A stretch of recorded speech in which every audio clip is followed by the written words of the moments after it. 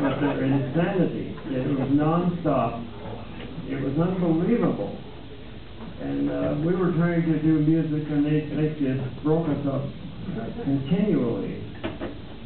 And It was, it was one of those things, I guess you had to be there, but, but it was great, and, uh, it was, uh, in fact, Rick and I had a room together that, uh, way back in the sixties, uh, so that, that's how far back we go. How many? Uh, How many stood up? Uh,